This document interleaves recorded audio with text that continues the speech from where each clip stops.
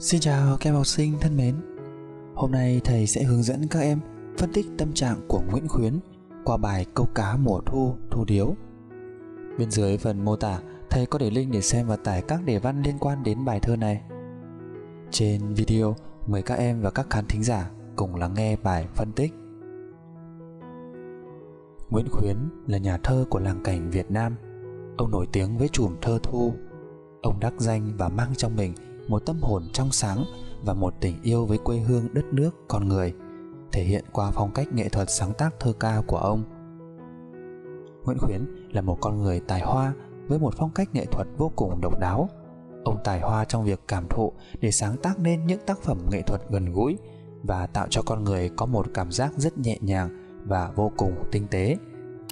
Đó đều là những hình ảnh thể hiện một thái độ rất say mê với nghệ thuật. Trong tác phẩm câu cá mùa thu ông đã thể hiện được phong cách nghệ thuật của mình qua việc sử dụng ngôn ngữ. Và qua đó, người đọc cũng đánh giá được một con người có tầm quan sát tinh tế và một thái độ ung dung. Ao thu lạnh lẽo nước trong veo, một chiếc thuyền câu bé tẻo teo, sóng biếc theo làn hơi gợn tí, lá vàng trước gió khẽ đưa vèo. Tác giả đang cảm thụ từng khoảng không gian của thiên nhiên, nó đang trôi chảy nhẹ nhàng qua từng con chữ với hình ảnh của ao thu lạnh lẽo. Ở đây, tác giả đang thể hiện tâm hồn của mình với một cảm xúc có chút cô đơn và tâm trạng của thi sĩ cũng đang hòa nhập với không khí chung của không gian. Tất cả đang tạo nên một cảm giác mới mẻ và cũng vô cùng hấp dẫn người đọc.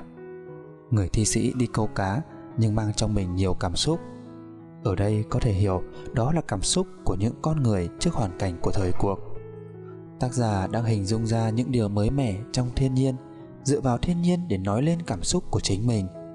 Đúng như thi sĩ cổ đã từng nói, người buồn cảnh có vui đâu bao giờ. Đúng như vậy, thi sĩ cũng đang mang trong mình những suy tư và biết bao nhiêu cảm xúc đang xen lẫn vào dòng tâm trạng và cảm xúc của chính tác giả. Tác giả đang thể hiện những nỗi lòng sâu lắng nhất đối với dân tộc và đối với khung cảnh nơi đây. Tầng mây lơ lửng trời xanh ngắt, ngõ trúc quanh co khách vắng teo tự gối ôm cần lâu chẳng được cá đâu đớp động dưới chân bèo. Trong những câu thơ trên, tác giả vừa thể hiện được vùng cảnh của thiên nhiên, vùng nông thôn, bắc bộ, và còn tiếp tục thể hiện nỗi lòng của những người thi sĩ trước những cảnh sắc thiên nhiên đã mang đậm những dòng cảm xúc và biết bao nhiêu sự cô đơn và hiu quạnh trong lòng người. Có thể thấy được những điều đó có biết bao nhiêu những cảm xúc sâu sắc và mang lại nhiều cái nhìn mới mẻ riêng của chính tác giả và không gian thanh bình nơi đây. Những cảm xúc cô đơn đang xen lẫn là những hoài niệm xa xôi, những cảm xúc của thời cuộc. Mặc dù viết về vùng nông thôn bắc bộ, nhưng tâm trạng của thi sĩ nơi đây cũng mang một nỗi lòng nặng gánh với biết bao lo toan và những cái nhìn mới mẻ nhất.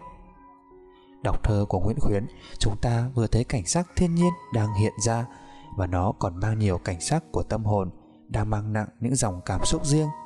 Đó là những cảm xúc của những con người với thời cuộc. Khung cảnh nơi đây thơ mộng, nhưng khách lại vắng teo, nó cũng đủ chứng tỏ một điều, đó là nơi đây đất nước đang rơi vào những khó khăn. Nhưng những người hiện tại chưa thấy có. Chính vì vậy, tâm hồn của tác giả đang mang nặng những mối lo và suy tư về cuộc đời. Cuộc đời của tác giả đang ngập tràn trong những cảm xúc riêng và nó thể hiện một tâm trạng thời thế của chính tác giả.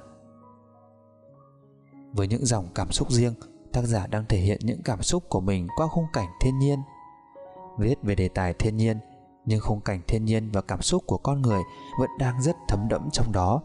Nó thể hiện những cảm xúc riêng và đặc biệt, tâm hồn của tác giả đang lạc vào một thế giới cảm xúc lẫn lộn giữa đời người và thiên nhiên vô hạn. Tâm trạng thời thế của nguyễn khuyến như chúng ta thấy nó hiện rõ lên ở hai câu cuối. Tựa gối buông cần lâu chẳng được, cá đâu đớp động dưới chân bèo. Hai câu cuối đã mang đậm tâm trạng để nói về một tình yêu đất nước không bao giờ nguôi ngoai của tác giả. Dù cho thi sĩ ngắm cảnh vãng lai, nhưng lúc nào cũng luôn nghĩ về đất nước, muốn phục vụ cho đất nước. Ngồi thẫn thờ và suy ngẫm về đất nước, điều đó làm cho tác giả bỗng giật mình khi thấy tiếng cá đớp chân bèo đây là cảm xúc và một tâm hồn yêu cái đẹp. Nhưng tâm hồn luôn nghĩ về quê hương, biết lo cho quê hương. Đó là tất cả những gì mà tác giả đã thể hiện trong tác phẩm của mình. Tác giả đã thể hiện nỗi lòng của mình qua tác phẩm. Đó là những tâm trạng thời thế và biết bao nhiêu cảm xúc và dòng tâm trạng đang thấm đẫm trong dòng cảm xúc của từng lời thơ. Cảm xúc đó đã tạo nên những khung cảnh riêng và đậm giá trị nhân văn sâu sắc trong từng giai điệu của tác phẩm. Hết bài phân tích. Cảm ơn các em và các khán tính giả đã cùng lắng nghe.